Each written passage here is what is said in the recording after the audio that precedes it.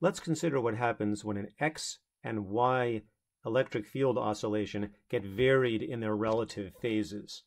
Here's an animation that shows you what the X component, uh, sorry, the Y component of an electric field alone looks like when it animates in time. Just pushes upwards and downwards in time. And similarly, if I animate just the X component of an electric field, it'll look something like this. You see in both cases, here we've got a unit amplitude oscillation from left to right. In the other case, we had a unit amplitude oscillation from up to down. Now what gets interesting is when we start to phase them relative to each other. So first of all, let's add them together in phase. 1 x hat plus 1 y hat with no relative phase. Then I get a resultant vector that looks like this. We've still got that vertical oscillation, the horizontal oscillation, and it will stay that way throughout the rest of this video. But now you see the resultant vector goes up and down at 45 degrees. Now, if I were to try to pass that electric field through a polarizer, and if that polarizer passed light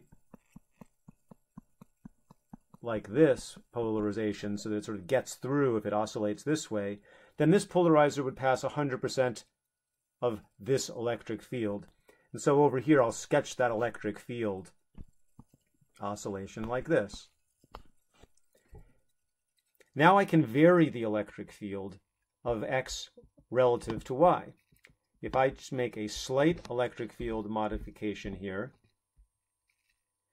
I'm not changing how much x oscillation there is, and I'm not changing how much y oscillation there is. So that's important to keep in mind. These amplitudes are exactly the same. I haven't eliminated any x field or any y field. I've just changed their relative phases.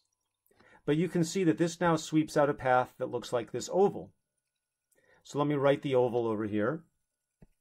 So the oval looks something like that. And you can see now that if I passed that light field through this polarizer, there would be certain points at the extremes where the electric field is very strongly oriented along the polarizer, but there are other times when it's pointed less perfectly, and there are actually some points along here where it's pointing opposite to the polarizer, and none of that light will get through. So I've now reduced how much light can get through this polarizer only by changing the phase of these oscillations. I haven't reduced the x power or the y power on its own, but when it goes through the polarizer, the amount of power that gets through that has changed. I can, of course, continue this process I can make that phase shift a quarter cycle. 0.5 is one fourth as much as 2, and I'm multiplying that by pi. So this is pi over 2. And when I play that, I get a circular polarization.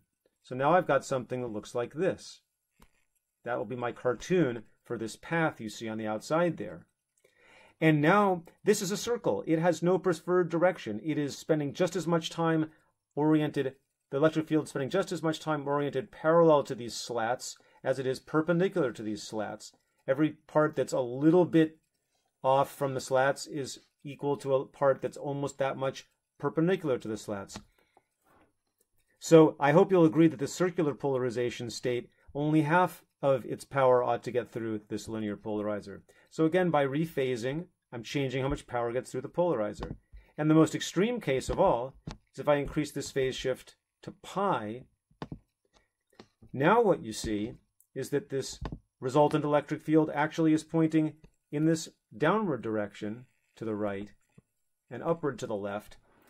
And this case now is exactly the opposite of this. I've actually switched the polarization completely from one linear state to the orthogonal linear state, and now none of that power will get through the polarizer. So the point of this exploration is to convince you that without changing the amount of x or y oscillation, and without changing the amount of total power in this beam if it were to strike my eye without going through a polarizer, I am nevertheless able by changing phase to very much influence how much light gets to my eye if, it, if the light then has to pass through a polarizer. And that's exactly how a liquid crystal display works. You apply a phase shift between one component of the light field and the other, and without doing anything else, if you then pass that light through a polarizer, you can very much change how much light gets out.